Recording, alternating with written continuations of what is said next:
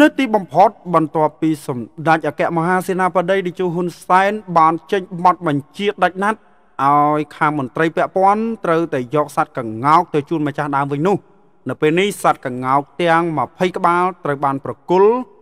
ជូនដល់ដៃម្ចាស់ដើមវិញហើយក្រោយបាទពីចេញបទបញ្ជាដោយនាយករដ្ឋមន្ត្រីនៃកម្ពុជានោះស្វាគមន៍ប្រិមត្តវលមកកាន់នេតិព័រមៀនជាតិនិងអន្តរជាតិថ្មីថ្មី បើសិនជាប្រិយមិត្តពេញចិត្តនៅការផលិតជាវីដេអូសូមកុំភ្លេចចុចពេកជាវឬក៏ Subscribe ម្នាក់មួយដើម្បីទទួលបាននូវព័ត៌មានថ្មីថ្មីជាបន្តបន្ទាប់ទៅទៀតនៅក្នុងដៃប្រិយមិត្តមន្ត្រីរដ្ឋបាលព្រៃឈើនៃក្រសួងកសិកម្មរុក្ខាប្រមាញ់និងនេសាទបាននាំយកសត្វកង្កោកទាំង20ក្បាលពីសួនសត្វភ្នំតាម៉ៅនៃទឹកដីខេត្តតាកែវប្រគល់ជូនដល់ដៃម្ចាស់ដើមរបស់ខ្លួនវិញហើយ នៅល្ងាចថ្ងៃទី28ខែកុម្ភៈឆ្នាំ2023នេះនៅទឹកដីស្រុកបរិបូរនៃខេត្តកំពង់ឆ្នាំងលោកកែវអូម៉ាលីសប្រធានរដ្ឋបាលព្រៃឈើបានប្រាប់បណ្ដាញអ្នកសារព័ត៌មានឲ្យដឹងនៅមុននេះថាក្រោយពីទទួលបានប័ណ្ណបញ្ជាដ៏ខ្ពង់ខ្ពស់របស់សម្ដេចតេជោហ៊ុនសែននាយករដ្ឋមន្ត្រី ក្នុងរយៈពេល5អឺរយៈពេល5ម៉ោង និង21នាទីសត្វកង្កោកត្រូវបានដឹកពីភ្នំបាទពីសួនសត្វភ្នំតាម៉ៅខេត្តតាកែវមកដល់ផ្ទះម្ចាស់កង្កោកវិញហើយ នៅទឹកដីខេត្តកំពង់ឆ្នាំងនាវេលាម៉ោង5:33នាទីថ្ងៃទី28ខែកុម្ភៈឆ្នាំ2023នេះដោយអមដំណើរដោយថ្នាក់ដឹកនាំក្រសួងកសិកម្មរុក្ខាប្រមាញ់និងនេសាទរដ្ឋបាលព្រៃឈើសួនសត្វភ្នំតាម៉ៅអាជ្ញាធរនឹងបានប្រគល់កង្កោកទាំង20 បាក់ក្បាលជូនម្ចាស់កង្កោកនៅភូមិអន្លង់ឃុំត្រពាំងច័ន្ទស្រុកបរិបូរខេត្តកំពង់ឆ្នាំងជាមួយគ្នានេះដែរម្ចាស់កង្កោកនិងក្រុមគ្រួសារមានសេចក្តីសោមនស្សរីករាយយ៉ាងខ្លាំងក្រៃលែងនិងបានថ្លែងអំណរអគុណដល់សម្ដេចពុកតេជោហ៊ុនសែននាយករដ្ឋមន្ត្រី នៃកម្ពុជា ដែលបានជួយអន្តរាគមរឿងនេះដល់ពួកគាត់សូមជម្រាបជូនផងដែរថាសម្ដេចតេជោហ៊ុនសែននៅថ្ងៃបាត់ត្រង់ ទី28ខែកុម្ភៈឆ្នាំ2023នេះបានចេញបទបញ្ជាបន្ទាន់តែម្ដង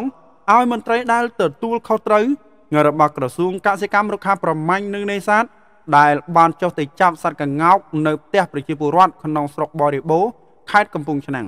យកទៅប្រគល់ជូនដល់ម្ចាស់គេវិញដល់ផ្ទះនៅថ្ងៃនេះតែម្ដងភ្លាមភ្លាមនោះពីទទួលបាទបន្ទាប់ពីទទួលបានប័ណ្ណបញ្ជានេះរដ្ឋបាលបាទមន្ត្រីរដ្ឋបាលព្រៃឈើ បានចាប់សត្វកង្កោកពីសួនសត្វភ្នំតាម៉ៅនៃទឹកដីខណ្ឌតាកែវដាក់ចូលក្នុងទ្រុងដឹកតាមរថយន្តធ្វើដំណើរឆ្ពោះទៅកាន់គេហដ្ឋានម្ចាស់កង្កោកនៅស្រុកបរិបូរខេត្តកំពង់ឆ្នាំងដើម្បីប្រគល់ជូនពួកគាត់បាទដែលជាម្ចាស់វិញតាមរយៈសារសម្លេងរបស់សម្ដេចតេជោហ៊ុនសែនក៏បានស្នើឲ្យធ្វើវិសោធនកម្មច្បាប់ឬលុបចោលនៅខ្លឹមសារក្នុងកថាខណ្ឌទាំងឡាយណា ដែលមានកំណត់ពីការហាមឃាត់ ប្រជាពលរដ្ឋមិនឲ្យចិញ្ចឹមសត្វដែលចិត្តផុតពូជដើម្បីផ្ដល់សិទ្ធិឲ្យប្រជាពលរដ្ឋមានឱកាសអាចចិញ្ចឹមបានដោយមិនខុសច្បាប់សម្ដេចតេជោហ៊ុនសែនបានអះអាងថាសត្វដែលចិត្តផុតពូជគួរតែលើកទឹកចិត្តឲ្យប្រជាពលរដ្ឋចិញ្ចឹមក្នុងក្រុមគ្រួសារទើបជារឿងល្អជាក់ស្ដែងដោយករណីសត្វកង្កោកនេះជាដើមហើយសូមបីតែសម្ដេចក៏ចិញ្ចឹមសត្វកង្កោកនេះដូចគ្នានឹងហើយប្រិមត្តឥឡូវនេះសត្វកង្កោកបានទៅដល់ផ្ទះវិញហើយបាទ នៅប្រិមត្តណាបាទសត្វកង្កោកនេះបានទៅដល់ផ្ទះវិញហើយបាទផ្ទះដែលម្ចាស់ហ្នឹងគឺបានមើលថែរយៈពេលជាង10ឆ្នាំហើយបើតាមព័ត៌មានដែលម្ចាស់ផ្ទះបានម្ចាស់សត្វកង្កោកនឹងបានលើកឡើងណាបាទបានលើកឡើងអញ្ចឹងបងប្អូនបានតាក់ទងទៅនឹងបាទព័ត៌មាននេះបាទប្រិយមិត្តចូលរួមបញ្ចេញមតិយោបល់បាទម្នាក់មួយផងហើយបើសិនជាលើកទៅលើសលួសត្រូវខុសដោយប្រការណាមួយនោះក៏សូមខន្តីអភ័យទោសហើយក៏សូមថ្លែងអំណរអគុណ ដល់សម្ដេចអគ្គមហាសេនាបតីតេជោហ៊ុនសែននាយករដ្ឋមន្ត្រីនៃព្រះរាជាណាចក្រកម្ពុជា ដែលសម្ដេចបានបាទជួយអន្តរាគមករណីបាសាត់កងោកនេះ បាសាត់កងោកនេះអញ្ចឹងបងប្អូនតកតូនទៅនឹងព័ត៌មាននេះក៏មានតែប៉ុណ្្នឹងដែរជាចុងក្រោយបាទសូមជម្រាបលាប្រិមត្ត